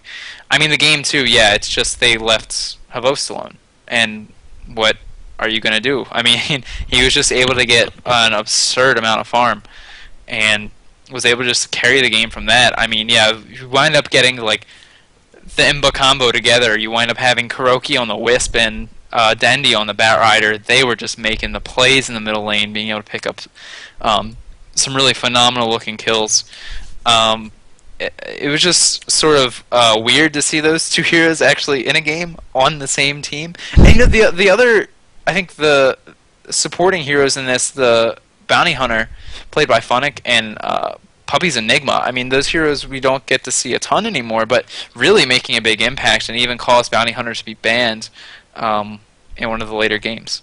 Well, bounty hunter obviously uh, is another one that kind of has an influence on the pace of a game, um, more so than other ones, just because of track. Of course, that is his. Uh, his uh, well his staple, his what he's known for, and uh, getting just just a few track kills, even early on, giving that extra gold to everyone involved. It just can obviously make such a night and day difference for your team. Getting those, get, you know, a, a, lot of sports especially, but in general, getting just a couple hundred gold off either upgraded boots or maybe this next set of wards or something. Uh, now you got it because of this bounty hunter's track, and obviously Funn1k playing that hero immensely well, knowing how to roam effectively and get those tracks up for the kills. Uh, and then Papillon Enigma, which I don't know why I was surprised to see it because he's obviously an amazing jungler. He's proven that time and time again. But you just an England general obviously has just fallen off in recent times, and for some unknown reason, really, because he just got I, I, would say buffed if anything in this pr- last patch, getting that uh, the stuns to be you get the three stuns right away. Um, but definitely making his presence known. And those black holes early, it's okay to waste use it on one hero because you're going to guarantee a kill, especially if you can put like a track up on that hero. Oh, that was totally worth the investment of time and money. And like you said, Havorsk getting all the farm on the Alchemist just sealed the fate for that game. Yeah, I mean, um, I thought it was just, uh, in general, like just a clinic of what can happen when you get way too much farm on an alchemist. Why it's so hard to try and leave him alone. Can but you just briefly touch on how alchemist IO, just the overcharge on him, is so stupid good? I I wanted to bring that up. I was gonna wait, but that's okay. We can do it now because there is one image burned into my mind of Havos just fisting Arax, uh, and you know Alliance is trying to go to town on. Them. They're trying to put up the damage, and like, oh, Alchemist, he's just too tanky, and you're just like, dude, that's that's IO overcharging, and that's the whole reason. Like, yeah, of course, getting the items is important, but you're just like that fl- that percent damage reduction is just huge when you have that kind of a hero who's just about being up in your face, doing tons of damage, being survivable, and now you're going to add overcharge on top of that. Like, what are you supposed to do? Um, and you know that's of course I think going to be great to incorporate into our conversation of uh, how does I nerf bat later on. Right, and Alchemist obviously one of his his weakest points is his armor. So he's he's a he seems like he's a he's a big brute, but really he's he, he's kind of vulnerable in the sense of his armor. But when you give him that flat damage reduction, uh, that's sort of not such an issue with him anymore. Especially some of the ways we we've seen him uh, played when he has that IO, he just likes to go even more health and more damage, and he's fine with it because you know at the end of the day he'll survive through with that overcharge on him. So um, yeah, I, I, definitely that combo, and I remember exactly what you're talking about, where he's just beating on the buildings. They're trying to do everything they can to him, and it's just not enough. And uh, and uh, I would say Wisp in this case, I mean, yeah, the relocate was definitely used, especially with like the Ursa combo when that was going on. But in general, in these games, it wasn't necessarily he was picked for relocate at all. It was more for that late game, uh, the overcharge, and of course the the tether. I think really came through. Yeah, for sure. I mean, uh, the the game that I think I had the most fun with was the Alliance Pocket Strat that we wind up uh, seeing in round three fight. Uh, the Ogre Magi uh, Lone Druid combo. Oh yeah. What do you think? I I was so thoroughly thoroughly confused when we first saw that draft. I was like, what are those blue heads doing in this game? Like I, I just could not figure it out. How stoked were you for the the Ogre Magi in the crowd though? Because that guy that lost guy was his mind. Oh, that guy was, was awesome. Uh, it was uh, it was it was cool, and I, I was I was I was probably asking for that hero to get picked up in this tournament somewhere along the way, but uh, I never expected it to be on this lineup, and I now I've learned a lot. Once again, this has been a great eye-opening experience because, like you said, picked with the lone druid. That's the key point here. Using that bloodlust on that bear just lets it go ham sandwich on towers, on heroes, you name it, he's gonna get it uh, with that attack speed. Get those those uh, either the root procs or his extra bonus damage to towers. Either way, he's well quite literally a beast, but also just doing plenty of damage, and it it, it was uh, it was interesting for sure. I mean, it, this is like almost felt like a David and Goliath type game. I mean, you have of course the Io and the Visage and the Alchemist for Nas and Sari, but this pocket strat ogre magi lone druid has been really successful in the past. There was a, a small stint of time where I saw this a couple times in a row, and you're just like, wow, that's awesome. you throw that with the Bat Rider, just him getting bloodlusted. You have Mirana to perma smoke alliance, pretty much. That's super low cooldown, and then you have high burst damage from Lina. I looked at that and I'm like, I'm just so scared for Navi. How are you going to be able to contest this?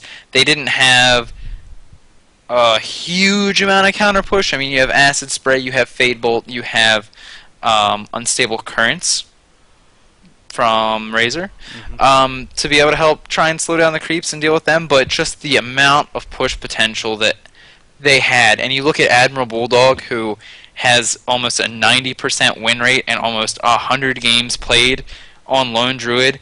Just like this is this is it. This is the dream team. This is a win for Alliance not so fast because Navi was actually able to to pull it together and, and put it up a W. And the other very exciting slash important thing to talk about this game was the fact that Dendi played Io mid.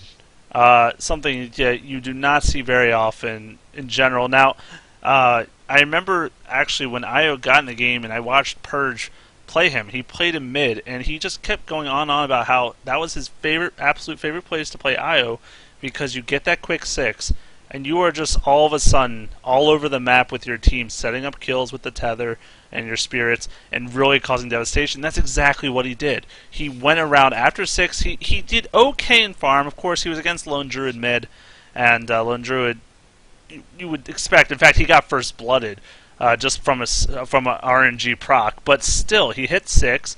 And he was able to come around the map with that tether and set up some nice early kills for his team and uh, really, I, I, it just it's such a cool thing to see these kind of heroes played in a, in a different light. Yeah, I mean, I want to say I remember LD saying that uh, Dendi actually believed in, you know, the viability of Io mid and how he's sort of underrated in that position. And I mean, I, it's sort of one of the, those things, of course, that we always say, you know, oh yeah, supports are great because they don't necessarily need items. When they can get them, it's awesome.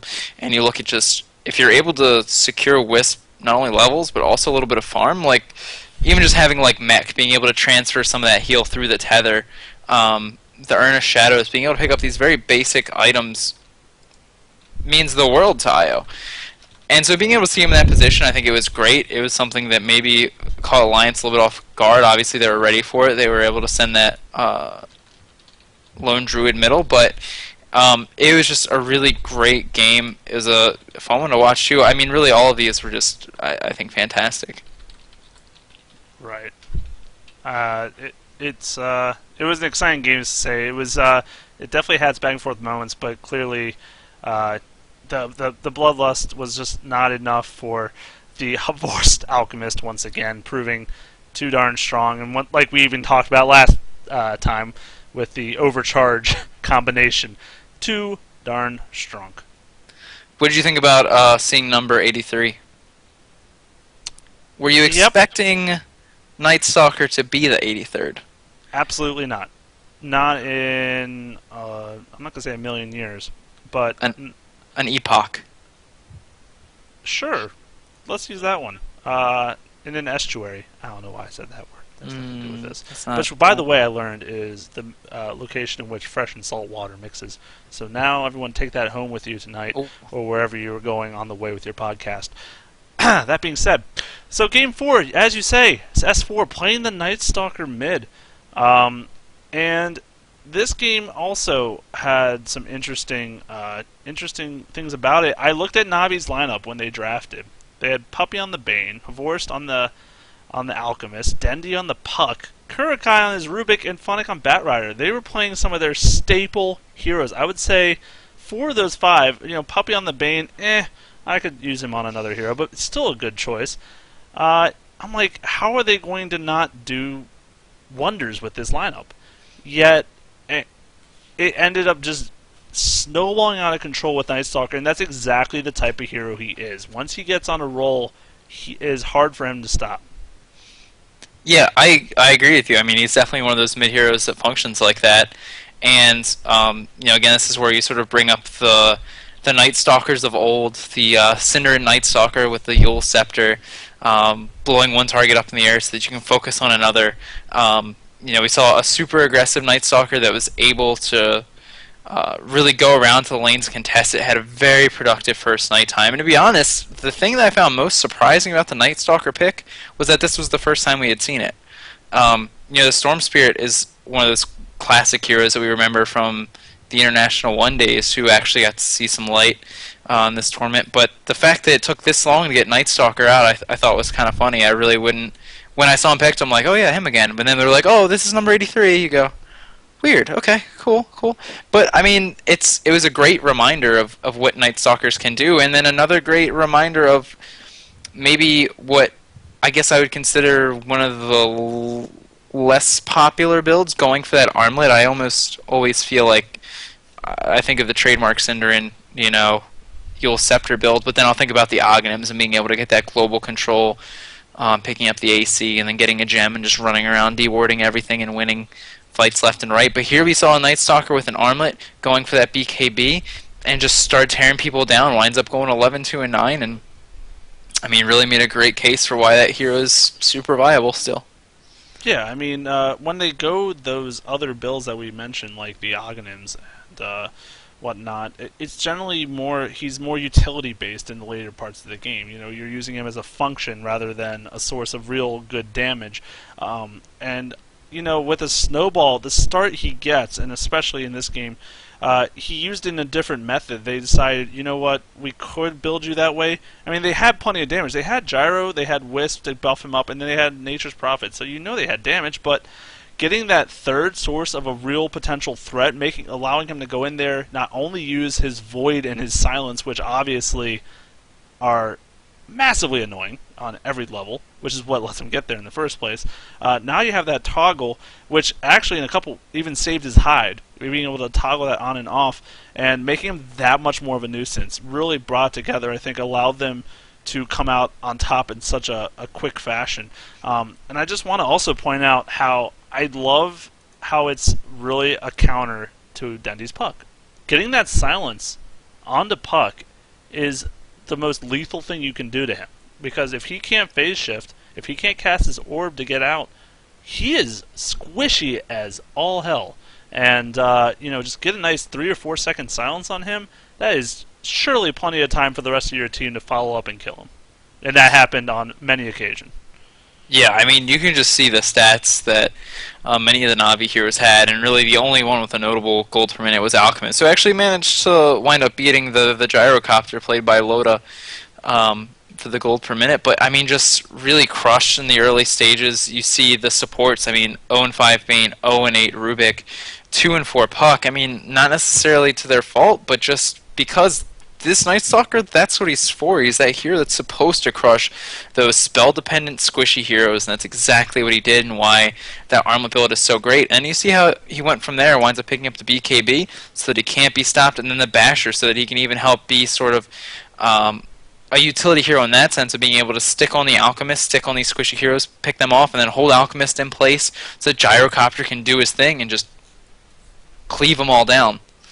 Yeah, I think that was probably one of the only issues with Navi's lineup is their real lack of auto attack damage. They had Alchemist, but that was about it, and you didn't even have this time in Io to buff him up. You know, you had the Bane to do a lot of crowd controlling and whatnot, but besides that, you just you really this team focused a lot on hard CC with Batrider and Bane. You had yeah, Magic Immunity's not going to stop you. You're going to get through with a couple CCs, but where's your follow up? If Puck's silenced, he's not helping the team.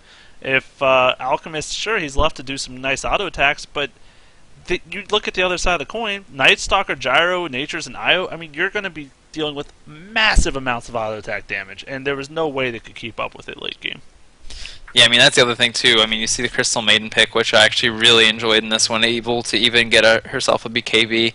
I mean, they just had so much kill potential. It was really hard to stop. And you know, again, so much mobility. You have Io, you have Nature's Prophet, you have Night Stalker, moving so quickly at night. Um, I think it was really a beautiful draft. That was a really smart choice at the end of the draft to pick up that Night Stalker once you were seeing really how flimsy uh, Navi's lineup was after the Alchemist. Um, it's those things that I really enjoy. And again, like this is where you can really sort of take the the whole you know Imba hero like no too strong to play against out of it because it doesn't matter because S4 is going to pick up a Night Stalker and roll you over anyway. It doesn't really matter. You know, it's it's one of these heroes you can't like ban against. I mean, you're not going to ban a Night Stalker, but of course you put it in the right hands and it's going to be super destructive. Right. So Eye of Nature's Prophet clearly two global abilities making things life very hard for Navi, and uh, we'll get into Game Five soon, but similar in that game as well. Um, I, I just I'm curious why you think Navi doesn't seem to ever or very often pick Nature's Prophet as a side lane. Do you think they just have, for some reason in their mind, that he's just not as strong a hero as uh, obviously teams like Alliance feel like he is?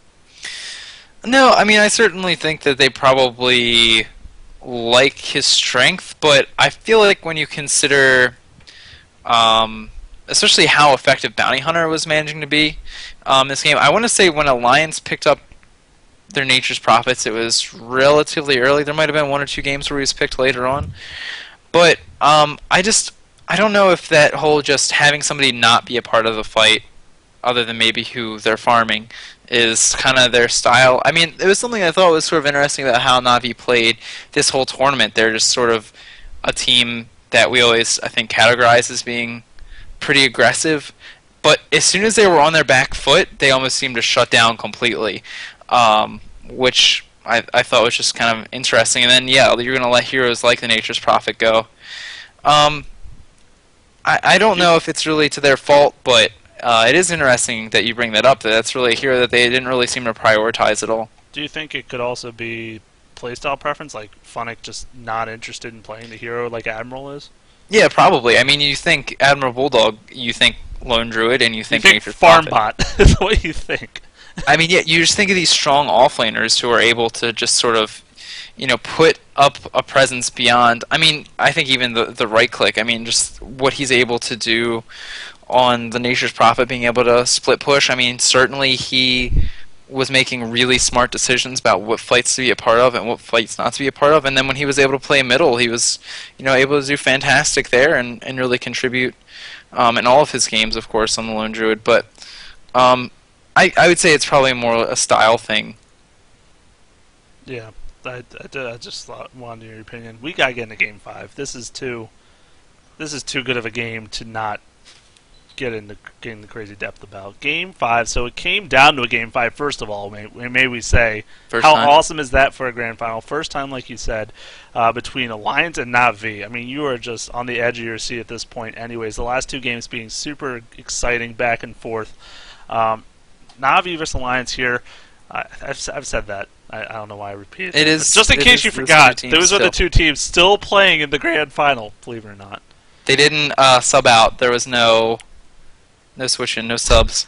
You look at these lineups, and there's so many similarities from this whole series. You know, Navi running uh, Funn1k on that Batrider again, Kurikine is Rubik, uh, on his Alchemist, Puppey on his Enigma, but then Dendi going completely head faking everyone, going to TA as their last pick, um, and then uh, Alliance uh, deciding to run the Crystal Maiden again on Akke, uh, Puck going for the S4, uh, Loda on Chaos Knight, another kind of uh, not a head fake, but definitely not something he's been normally playing.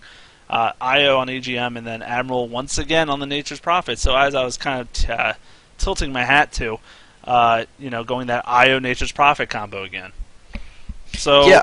I mean, do you want to just kind of you want to go into thoughts, or you want to just kind of go over what kind of happened? I mean, I, just from the picks, it's interesting that this is kind of the first time we really see that. Just like the the wombo combo of the the the IO and the Chaos Knight. Mm-hmm. Um, and I think too, th- just seeing Dendi's TA, what I thought was most interesting about that too is you look at the old Templar assassins that would go phase boots, blink dagger, and then whatever they wanted from there.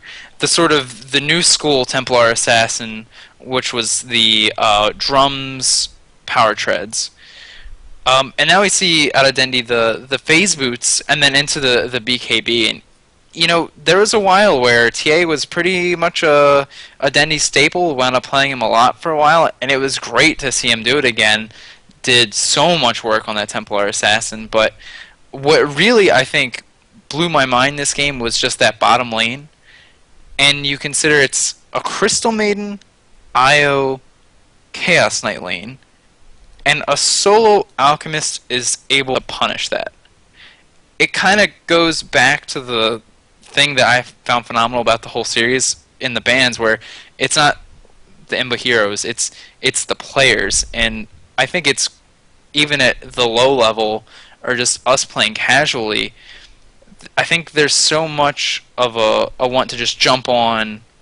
Oh, you pick this hero, we're screwed what, what, you know what did what did you do? Now there's no way we can win. It it really does I think come down to players, and of course you could give these teams whatever heroes you wanted, and they would find a way to make it work and be able to pull out wins. So it was it was just so neat to see how much XBOCT was really able to get out of that bottom lane for just from moment one back against the wall. Oh my god, that first time they dove that tower and like you say, came out came away two for one, uh, getting the first blood even. And then also on another dive, mind you, this was a four man dive, uh, getting the Nature's Prophet to TP in.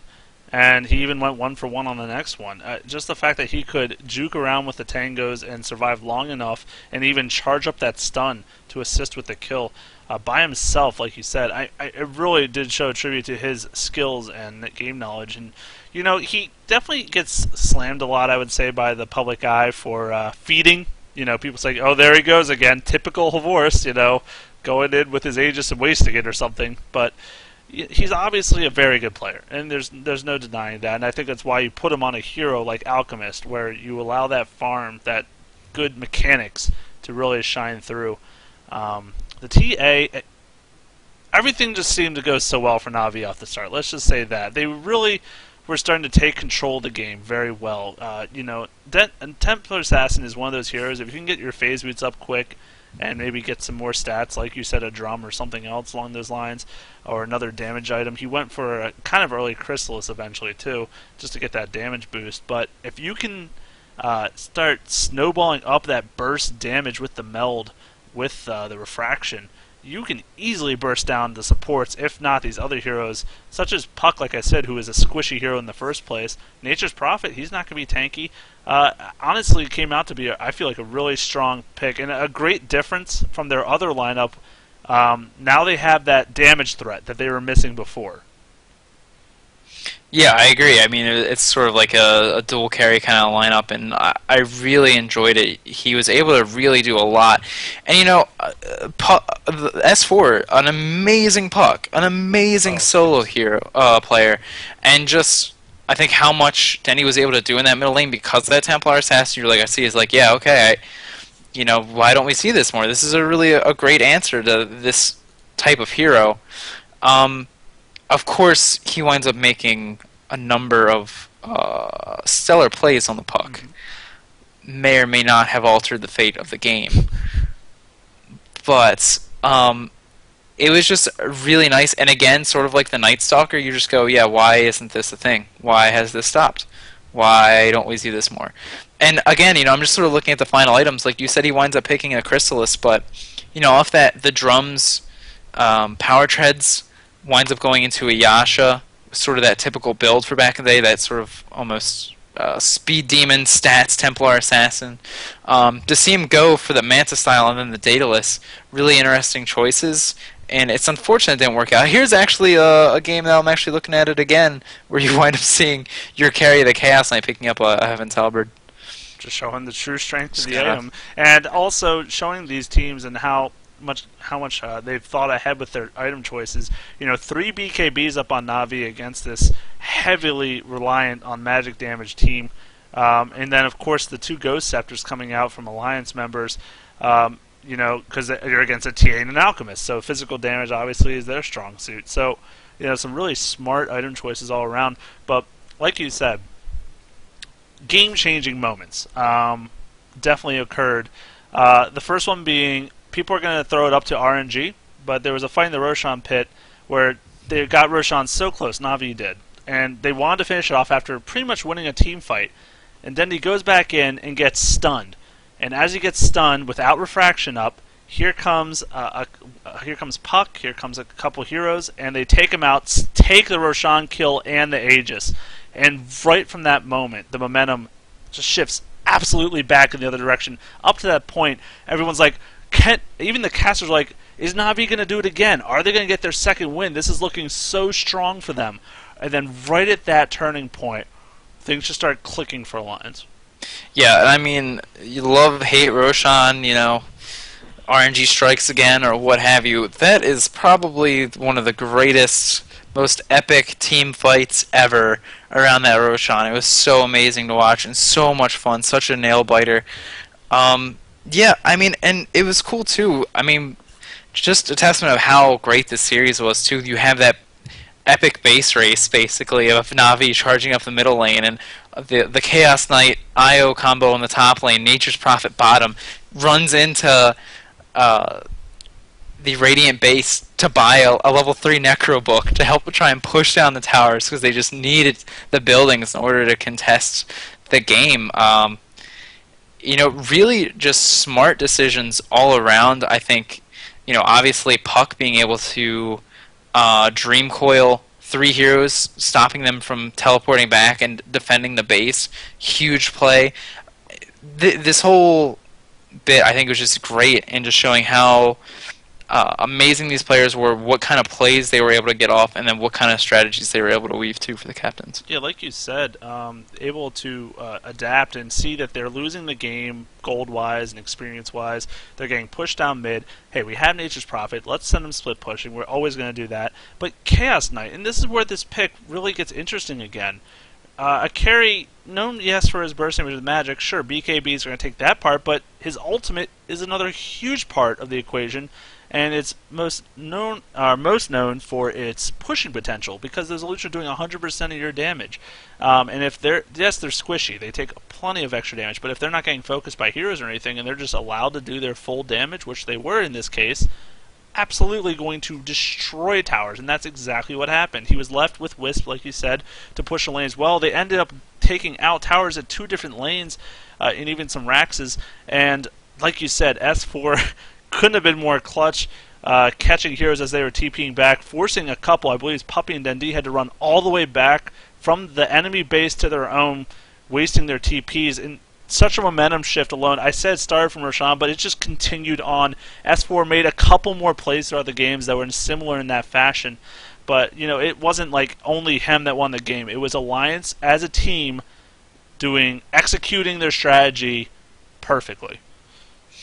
Yeah, it, it was great. I mean, like I was saying with uh, the Admiral Bulldog, I mean, just the presence of mind to run into the base to pick up that Necro book because he knew that that's that that item would have such a huge impact and being able to try and push down those lanes. It was amazing. Uh, I I cried much that I wasn't there to witness yeah. and to uh, you know just grab the nearest person and jump with them and just like enjoy the moment. Uh, but you know what we gotta we gotta we gotta figure out now, Jay. It's us. It's up to us to problem solve, to fix Dota. Uh, how do you what do you do with a hero that was able to be in the finals with a hundred percent win rate that we say is so damaging to just the way that the game is typically played, which is why he gets banned out, and then when he's not banned, he winds up winning hundred percent of the time. What are your uh, what are your thoughts? If only I was ice frogging you asked me that question. Mm. Um, that's a great question. That it really is. is. a great, great question. That is very hard for someone to answer when they're I'll not say, designer. I think that we. It, it's one of those things where you're never really going to be able to obviously change them in a way that no. stops the relocate. Mm-hmm. Um, I mean, that's something that we were actually watching the game with uh, he's like, you know, you can't do anything about it. It's not really something you can balance around numbers. You could always say, well, you know, you make the relocate duration lower, but it, it wasn't even really the relocate. I feel like that did uh, most of the work this game. You know, like we pointed out, it really was a lot the overcharge what that was able to do. And we've of course seen some tweaks to the the IO and trying to you know how much he can heal people he's tethered to and decreasing the movement speed that tether gives. Um, but still, this hero just seems so powerful. It's again, I think one of those things where almost with the Razor, like obviously Io did a ton of work, but it's not like it was just Io making these plays. It's not just that IOCK was teleporting around the map, getting kills, picking off Navi one at a time, and just getting such a huge lead that you know Navi couldn't do anything about it. It really was just the strategy as a whole, involving the hero. That, yeah, that's what it came down to, right? Uh, it, it, it showed it could work either way, either his global presence or even his individual presence with the Alchemist. I mean, both are very strong potentials, and I, it, the number tweaking, I guarantee you, is going to happen more. They're they're going to have to do. They're going to have to throw that as, at least as a temporary solution. Figure out some some number tweaking. But you're right. They're not going to overhaul his kit. That's just who the hero is. And I mean, the fact that he's not getting banned in every game makes me think he's not broken. Because well, I mean, Lycan was getting banned every single game. Um, so he was clearly broken. Io, I mean, it's sometimes hard to justify a support hero getting banned because you'd rather ban out maybe some of these uh, farmers or late game people that you don't want to deal with. But I mean, if he's that valuable, like Visage was even getting banned, then maybe that's just part of the game. Either way, there's going to be four bans in the end of the game, and they're going to have to go to someone. So you can't say everyone's always overpowered. You know. Yeah, I wish I was able to find our our buddy Io in this list a little bit easier. You would think alphabetical order, right? It should be pretty easy, it's but no. two letters. Why not? Just. Uh, I know. I wonder if he's in here under W. Oh, he is. He's in here under W. Fifty-six percent win rate. Um, gets banned and picked uh, 96 times. So actually less than uh, Visage. Mm-hmm. But I'm gonna go ahead and say that was the okay. OD got banned and picked more than him combined. Okay, so did Lifestealer, but clearly one of these top heroes uh, and Batrider. But uh, clearly one of these heroes and that Sniper. is just so highly valued, and I mean you sort of see why you know he's pick ban worthy. Um, I'm He's- just He's more of a Western hero than an Eastern hero. yeah this stage for anyways. sure. So maybe that's the numbers game is where you're coming with. Like Visage, all teams love that hero, so that that didn't really Now. make a difference. Now, right now, He used to be a pretty Asian, Eastern hero, but Western yeah, I don't know. We should try him. it's going to be interesting. I mean, you know, it doesn't matter because they're just going to lower his attack damage by 15 and buff his cooldown, and No. he's just going to be a carry next. I was gonna say it's gonna be the opposite. They're gonna Yeah. raise his base damage and make his cooldowns longer or something, and be like, play him as a carry now. Thanks. Yeah, or we'll just he'll be that hero that we see like three times and be like, "Oh, Morphling, so good. Wait, where'd this guy go?" but either way, I mean, it, it was a fantastic tournament. Um, I'm of course stoked for next year. I'm going next year. This is vowing it. I know I said I was going to before. It's happening. Nothing's gonna stop me. I'm gonna hitchhike there. I'm gonna ride buses and trains. I will hold on to the uh, landing gear of an airplane as it Oh, takes off in the general direction of Seattle. I'm going. It's happening next year. It's gonna sounds be dangerous. awesome. Well, I've seen it in plenty of movies, Jay. I feel It like it probably go- works. it's completely safe. I've never actually seen it backfire in a movie, so that means it's okay. Not once. That sounds like a, I would love to join you. Um, if uh, if it's in the United States, I will be there with you. All right. Well, that's outside good. the country, I don't know if I can make the same promise. Uh, another interesting statistic: uh, peak online concurrent viewership for Dota 2 Championships eclipsed 1 million, um, which was not the record. However, League of Legends still owns that, unfortunately, at 1.1 million. But close. A million viewers in general, uh, not bad. Not bad, and more uh, giving that validity to esports being a real deal. Um, you know, just allowing it to grow, and and that's think about that. That's a million people for an event that is not advertised on TV or on radios or anything. You know, it's purely through the gaming communities. And then think about um, all the pub, all the pub stomps around the world that are being organized. I heard about movie theaters getting rented out. I mean, it's just insane. And this is just for one video game. All these things happening. So that's how I believe esports really, and we kind of touched on it last time, but it really is becoming this uh, this snowballing thing that is only going to grow as the years continue. For sure, I'm definitely glad that we can be here doing our part, making this uh, podcast help it grow. But uh, I guess that's that's pretty much it, isn't it? I mean, do you have anything else to go over? Not really. It was uh, uh, it was really great. Absolutely, if you've missed games, which I know I did, uh, definitely go back. All the games are free to watch. Uh, you can actually go to Dota2.com uh, go to the international page, and if you just click on, uh, it gives you all the brackets, everything. You can click on view, and you can even click watch the game. It'll open up your client, you can watch it, or there's even YouTube videos. I mean, there's so many easy ways to access this content. It's wonderful. Um, so I would definitely suggest you go at least watch the grand finals. Do yourself that favor. Um, but other series as well, definitely take a part in it. Um, and you know what else is is really easy to uh, to find and to watch all of uh, is the Dota on Demand podcast, huh. which can be found uh, at YouTube.com. Uh, it can be found on uh, Twitch slash Dota on Demand slash Dota on Demand, uh, Facebook slash Dota on Demand. Uh, you can just give it a Google. You'll you'll find it. So go ahead, please right. go back, watch all of our episodes twice, three times maybe make sure they soak in. And you know what? At least join us next week when we have something else equally fantastic, maybe not as equally fantastic as the International 3, to talk about. So go ahead, play yourselves some fantastic games of Dota this week. We will see you next week.